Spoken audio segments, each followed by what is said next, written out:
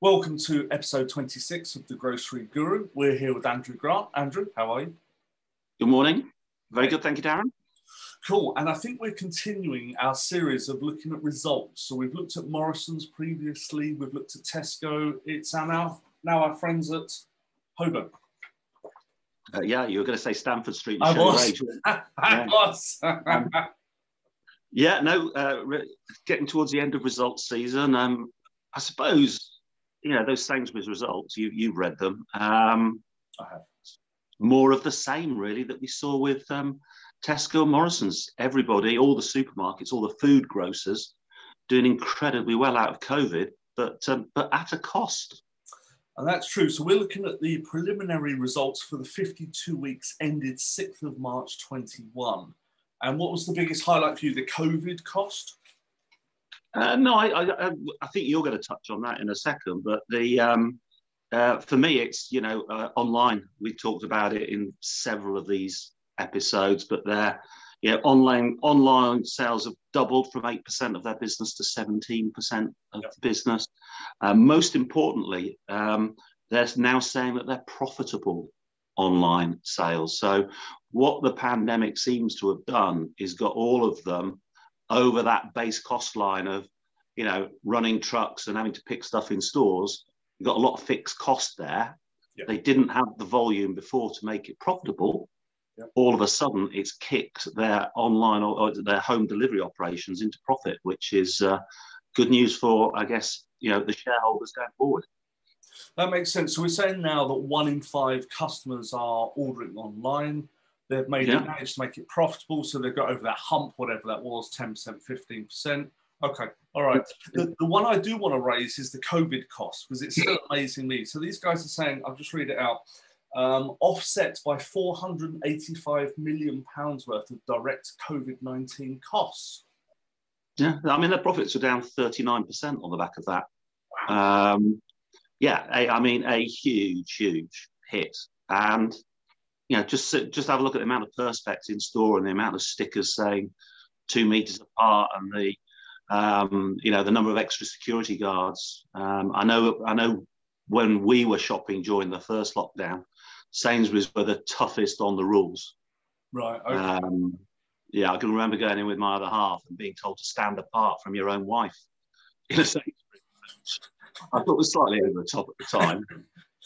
Um, a bit odd. In, our local Thames store, which is which is quite small, there's a big queue at the front of the store. Um, but what people have realised is you queue at the front of the store, but actually you can go in the back and there's no one there.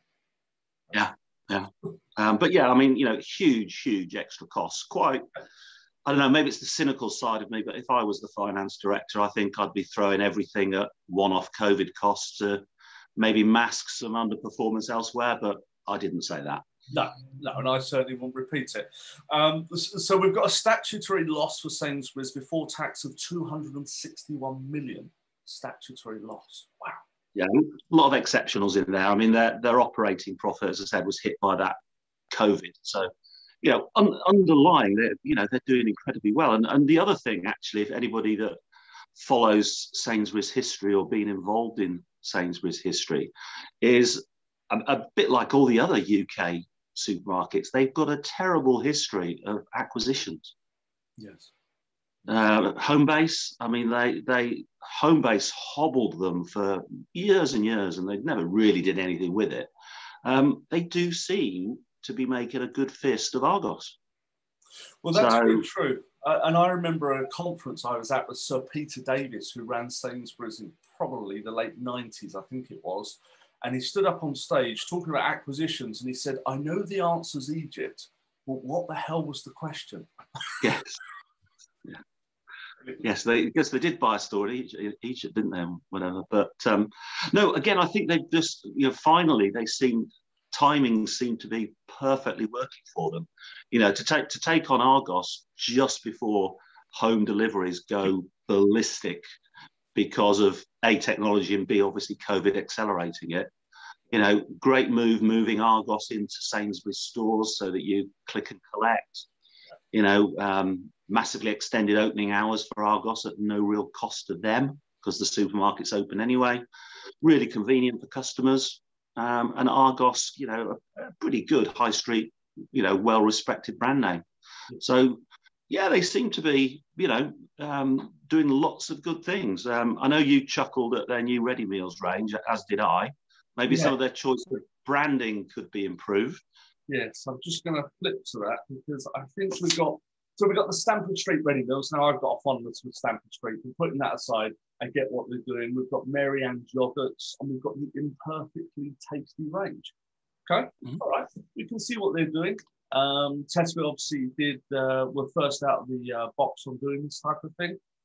They're doing it. Maybe it will work for them too. Yeah, it should do, should do. And then, you know, so all in all, you know, Morrison's, Tesco, Sainsbury's, uh, you won't really see Asda's figures, um, you know, but they'll have done equally well. So, you know, the pandemic has been good for the supermarkets. Um, and, you know, they're continuing to rock and roll. Um, I guess one final thing, um, again, while we're on the subject of, of Sainsbury's, is what their ex boss, Justin King's been up to. I don't know if you picked yeah. it up. Well, I noticed something on LinkedIn. I saw a picture of him and then it was a headline, but it went past me. I think you've read it. What, what was he doing? Yeah, no, he's jumping on this. Um, you know, we talked back in one of the episodes about 10 minute delivery windows, and I think you were quite shocked. I think you thought it was 10 minutes to place the order. Now, 10 minutes to get your order. Um, so, no, Justin has invested in Snappy Shopper, um, which, as I read it, is sort of a, um, a middleman between a C store and a customer. So if you're an independent C store, you haven't got the clout and the investment of a Tesco or a Sainsbury's yep. to do your own home deliveries. Yep.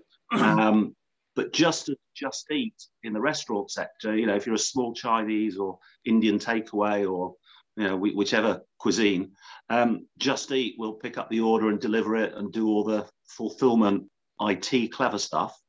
It's exactly what Snappy Shopper does. So if you're an independent C store, your customers can order online through the Snappy Shopper app. Yep. And you get your delivery and it costs either the customer or the shopper, I think, three quid commission. Okay. So, so if I want to order two pints of milk, some bacon, and some eggs for breakfast uh, later this morning, then I just do that for three pounds. Yeah, I mean, yeah, if, if that's all you order, um, it's going to be a high, a, high um, uh, on cost. But yeah, but I guess given that you know Tesco, Sainsbury's, Morrison's, Asda's home deliveries are everywhere. Yeah. What's the need to get it from your local C store? If I, mean, I want home delivery, if I want home delivery, my first thought would be one of those big three or four. Yeah. Would I think about my little local C store? I, I don't know. Obviously, you know, a lot of them have different ranges, more local produce, possibly fresher, maybe. Could but Justin obviously Justin obviously thinks it's worth investing and he's put quite a shed load of money into it, his own money supposedly. So um, well, maybe if, it was, if it was a specialty Polish store, Polish convenience store. Yeah, actually. Yeah, as I said, I mean, you, where it wins. But there's, all you know, um, I know around, you know, there's there's farm shops with all their own local produce. Maybe they can take you know that would be of interest to people. And as you say, a sure. you know, specialist um, Polish or Eastern European supermarkets, of which there are lots, um, now suddenly have the ability to offer home deliveries. Interesting, interesting. Let me just share a couple of highlights I noticed. I'll read out this statement. We are changing at pace, making bold decisions. I thought that was an odd thing to put in know, it, was, it was obvious, aren't they? Always moving at pace and always trying to make bold decisions. Why, why tell us that in their statement?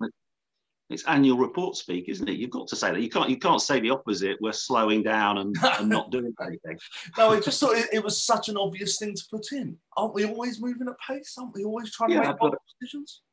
But also, you know, every single annual report starts with, "I want to heartily thank my staff and colleagues and everybody." You know, it's it's it's just what you expect in a, you know, in a in an annual report statement. Okay, all right. Well, let me uh, just highlight this, highlight this one to you. Changing our ways of working and our supplier relationships will triple our levels of new product innovation to 1,900 products in the year ahead.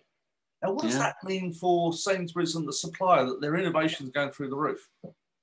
Well, I think that is them finally saying we're going to take M&S on and M&S and Waitrose on on their top game.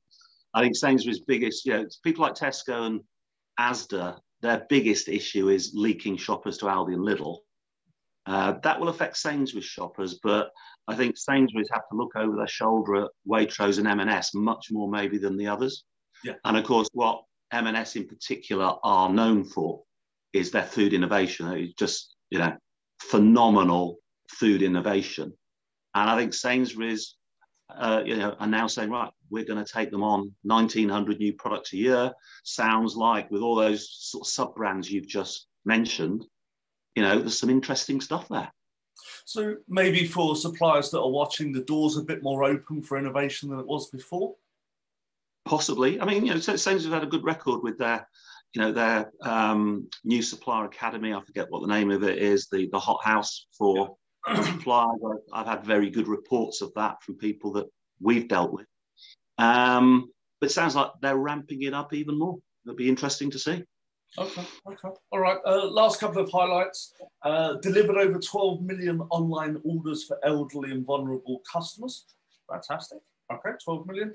And the other one is 7.4 million digital Nectar users, up from 4.5 million last year. So another 3 million digital Nectar users. Yeah, and again, that that links in with you know doubling of um, online business. Yeah, just like Tesco with Clubcard, their ability to data mine and understand their shoppers even more and target them with you know more Stamford Street kitchen food or whatever it is yeah, it just, just shows how, you know, as we've keep banging on about here, you know, shopper insight is, you know, the holy grail of 21st century retailing. It certainly is. And these guys are getting more and more data every day, particularly. Absolutely. All right, Andrew, uh, before we end, your takeaway from all of this on the preliminary results for the 52 weeks ended 6th of March 21 by Sainsbury's. What's your takeaway? Um, I mean, yeah, really good performance. Um, yeah, I feel sorry. I feel sorry for them having to lap that performance this year, as we talked about. But uh, every every cloud and, and etc. Okay, Andrew, thank you very much. We'll see you next week. Take care. Bye bye. Bye.